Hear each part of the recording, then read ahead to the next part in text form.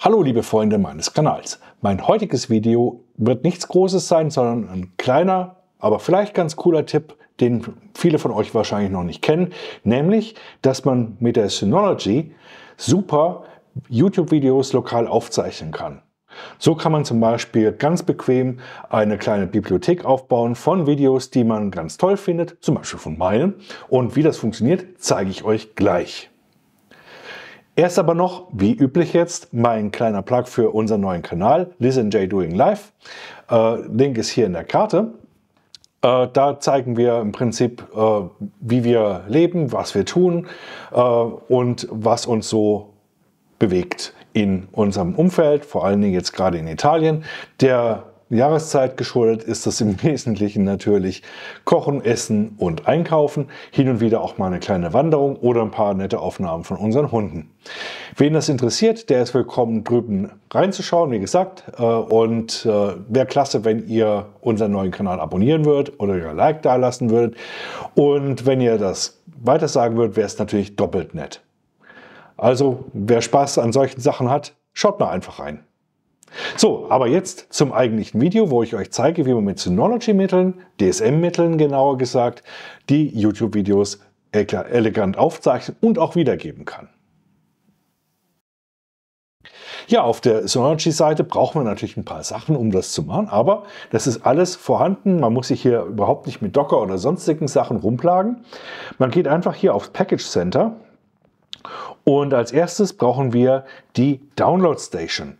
Da geht ihr einfach wie üblich hier in dieses Suchfeld, tippt ein Download, Download und da kommt dann schon die Download Station, könnt ihr gleich installieren. Und als nächstes, falls ihr das auch noch nicht installiert habt, würde ich empfehlen, die Video Station zu installieren. Das ist im Prinzip nichts anderes als eine, naja, Synology eigene Art von Plex, wenn man so will. Kann nicht ganz so viel, aber ist eigentlich für das meiste komplett ausreichend. Und das verwenden wir dann auch gleich, um unsere Videos dann zu streamen. Also auch hier am besten gleich mal auf Install hauen und schon läuft die ganze Geschichte. Ihr seht, es wird runtergeladen und dann passiert eben das Übliche. Und wie bei all diesen Synology Packages üblich, ist die Installation und das Update und auch wenn man sie wieder loswerden äh, will, echt super gelöst. So, und jetzt passiert hier Installing. Wir können zwischenzeitlich auf Installed gehen. Aha, das SMB-Service braucht noch später ein Update. Könnt ihr dann auch alles gleich machen. Und ja, da seht ihr, dass die Video äh, Station gerade installiert wird. Warten wir noch den Moment ab, bis das Ding anzeigt, dass es läuft. Und ja, schon passiert. Ähm, und hier ist auch so ein kleines Pop-up. Seht ihr hier auch Video Station, Download Station haben wir gerade gemacht. Gut, machen wir das mal hier zu und gehen rüber auf unser Hauptmenü. Und jetzt rufen wir als erstes mal die Download Station auf. Genau. Wir müssen jetzt als erstes einen äh, Zielfolder anlegen, wohin die Download Station ihr ganzes Zeug überhaupt äh, hinbuxieren soll. Da sage ich jetzt mal OK. Und äh, wir können jetzt zum Beispiel in unseren Dokumenten oder unter Video oder sonst irgendwas, ähm, können wir einen Folder erzeugen. Machen wir das einfach mal. Äh, YouTube genau, so machen wir das. Und jetzt haben wir hier unterhalb von Video einen YouTube-Folder. okay, machen wir hier Select. Der Name ist Schall und Rauch. Ja, das kann man auch später wieder umbenennen. Alles kein Problem. So, was machen wir jetzt? Als erstes wollen wir natürlich äh, mal schauen, dass wir mal eins von unseren tollsten Videos runterladen. Dafür wechsle ich mal einfach schnell den Browser. So, gehen wir auf Chrome. Hier habt ihr meinen Kanal und mein bestes oder eins von meinen besseren Videos ist natürlich der Nginx Proxy Manager. Das ist eins der neuesten. Da klickt ihr rechts drauf und sagt einfach Copy Link Address oder was eben in eurem Betriebssystem und eurem Webbrowser eben das entsprechende ist. Und dann geht ihr wieder zurück auf eure Download Station, klickt auf Plus und hier erscheint dann die Destination, kann man auswählen, kann man auch äh, ähm, ja, was ändern, kein Problem, wir lassen das mal so. Und dann geht ihr auf Enter URL. Und da macht ihr jetzt einfach Ctrl-V äh, oder Command-V, je nachdem auf, welchem, äh, auf welcher Plattform ihr seid. Und da sollte dann eben dieser Link dann erscheinen, welcher das auch immer so ist. Und ihr braucht jetzt natürlich für YouTube keine Authentifizierung, aber falls es notwendig sein sollte und ihr vom FTP-Service runterladen wollt, dann halt so. Aber wir sprechen jetzt konkret über YouTube. Und ähm, jetzt kann es sein, dass wir hier einen Dialog bekommen, aber das äh, werden wir auch gleich sehen. Und ich klicke hier mal auf OK. Und ähm, ja, vom Prinzip her sollte das eigentlich auch gleich anfangen zu ticken. Und ihr seht hier den Status Downloading.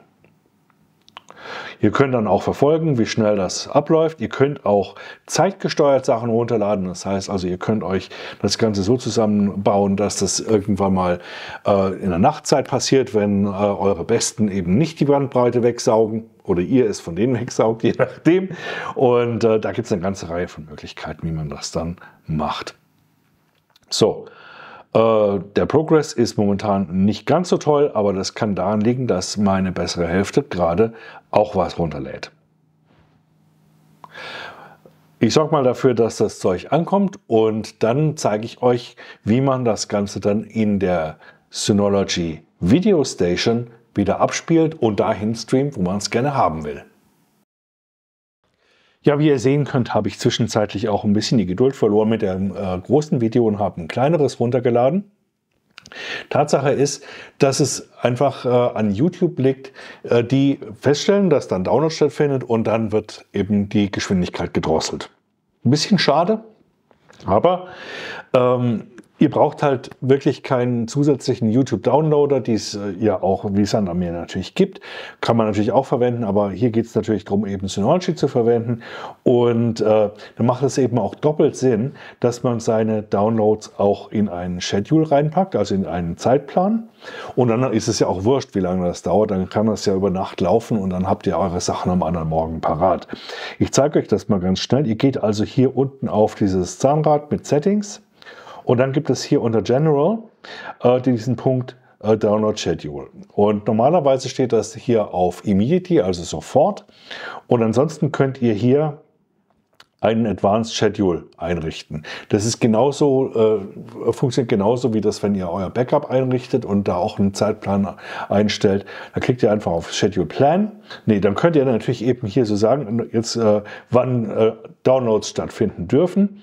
Und im Prinzip ist es einfach so, dass erstmal alle Uhrzeiten und alle Wochentage dafür erlaubt sind. Und wenn ihr was ausblenden wollt, dann klickt ihr einfach da drauf und fahrt hier runter mit der Maus. Und dann könnt ihr zum Beispiel eure Abendstunden äh, dafür blocken. Sagen wir mal so, ihr kommt um, um 18 äh, Uhr nach Hause, wollt ihr eben euer Internet verwenden und äh, dann eben äh, bis Morgens darf das Ding dann äh, rotieren. Um 8, ihr seid ja, ihr arbeitet, ach so, ja, ihr arbeitet ja remote, so wie ich. Ist ja klar, wir arbeiten ja alle remote seit Corona. Wir fangen um 8 Uhr schön an. Ja, also da muss dann eben die Sache auch parat stehen. Und äh, dann äh, darf das Ding über Mittag meinetwegen dann rödeln und dann brauchen wir den ganzen Nachmittag frei für uns selbst und den Abend natürlich auch. Und da haben wir jetzt praktisch dann acht Stunden, wo das Ding rumtröten kann. So, damit haben wir im Prinzip unseren, unseren Plan eingerichtet. Wir können natürlich auch alternative äh, äh, Geschwindigkeitseinstellungen vornehmen und dann erscheinen die Sachen halt hier in Gelb. Auch eine schöne Sache. Aber ich denke, an oder aus ist erstmal für jetzt äh, das, das äh, Interessanteste. Ich klicke mal hier auf OK und wir haben jetzt unseren Plan. Den könnt ihr natürlich jederzeit wieder umstoßen, wieder zurückgehen auf Immediately, also auf sofort. Oder ihr könnt dann euren Plan weiter bearbeiten. So ist das eben. Gute Sache finde ich. Ähm, ich weiß jetzt nicht, ob andere Scheduler oder andere Download-Dinger äh, das äh, auch können. Ist ja auch eigentlich egal. Ähm, ich habe es euch jetzt mal gezeigt. Hier gibt es noch ein paar andere Einstellungen, äh, wo ihr diesen, diesen Destination-Folder auch ändern könnt und so weiter und so weiter. Also da gibt es eine ganze Menge Möglichkeiten, hier noch Einfluss zu nehmen. Okay don't save. Alles in Ordnung. Ich habe jetzt hier ein Beispiel runtergeladen und ich zeige euch jetzt, wie man das Ganze mit der Video Station verknüpft. Ich gehe jetzt hier auf mein Hauptmenü und wir haben ja vorhin die Video Station installiert und klick mal hier drauf. Es öffnet sich ein neues Fenster und da ich das ganz frisch installiert habe, kommen jetzt diese ganzen Pop-ups. Ähm, Feature-Updates und so weiter und so weiter. Ähm, alles in Ordnung. Ich sag mal, got it. Ich kann mich dann später drum kümmern. Hier gibt es eine kurze Einführung. Ich kann mal hier auf Skip gehen.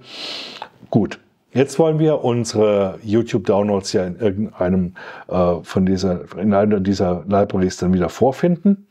Und ich gehe jetzt hier, hier mal auf äh, TV Show, klicke auf Plus und kann hier jetzt einen Videofolder hinzufügen. Ich klicke auf Select, Video und YouTube ist genau das, was wir suchen. Ich sage hier Select. Äh, Library ist in Ordnung, TV Show meinetwegen. Man kann ja auch eigene Libraries anlegen. Und ja, dann klicke ich hier mal auf OK. Und nach einiger Zeit sollte eigentlich hier unter TV Show mein Zeug dann auch auftauchen. Indexing ist durch und hier ist mein YouTube-Video. Äh, leider halt ohne Thumbnail, aber macht ja nichts. Und ich klicke da mal drauf. Ah, ich habe hier eine, ein Thumbnail, was es sich von selbst ausgesucht hat. Und ich klicke hier mal drauf und spiele das ab. Hallo liebe Freunde, da ist er. Heute ein relativ kurzes Video zu etwas, was nicht serverartiges ist, sondern eine... Der Typ hat das gleiche Hemd an wie ich. VideoStation ist übrigens auch ein relativ ausgefeiltes Tool, denn es kann natürlich auch äh, äh, an bestimmte Ziele streamen, die sich hier im Netzwerk zum Beispiel anbieten. Dafür kann ich hier auf dieses Zahnrad klicken und unter Player finde ich die verschiedenen Computer oder Bildschirme, die sich hier anbieten. Ähm, bei Apple nennt sich das AirPlay. Ich weiß nicht, ob ihr das auch vorfindet auf äh, einer Windows. Äh, äh, Plattform könnt ihr mal unten reinschreiben, ob das bei euch funktioniert unter Windows. Aber auf Apple, in der Apple-Landschaft hat man das halt hier über AirPlay zur Verfügung. Schicke Sache, wie ich finde. Und da kann ich das irgendwo hin streamen in meinem Netzwerk. Thema äh, YouTube-Downloadgeschwindigkeit. Vielleicht habt ihr da auch ähnliche Erfahrungen. Vielleicht habt ihr auch einen, einen Workaround gefunden zwischenzeitlich. Äh, lasst einfach einen kurzen Kommentar in dem Video, unter dem Video, wenn ihr da einen Tipp habt, wie man diese Downloadgeschwindigkeit äh, beschleunigen kann. Ansonsten bringt mich das jetzt auch zum Ende dieses Videos. Ich hoffe, es hat euch was gebracht und es hat wenigstens Spaß gemacht zuzuschauen. In beiden Fällen würde ich mich über euer Like riesig freuen. Ansonsten würde ich mich natürlich noch mehr freuen, wenn ihr meinen Kanal abonnieren würdet und dann am besten auch gleich auf die Glocke klicken, denn dann verpasst ihr keins von meinen zukünftigen Videos. Für heute aber vielen, vielen Dank fürs Zuschauen und bis zum nächsten Mal. Tschüss.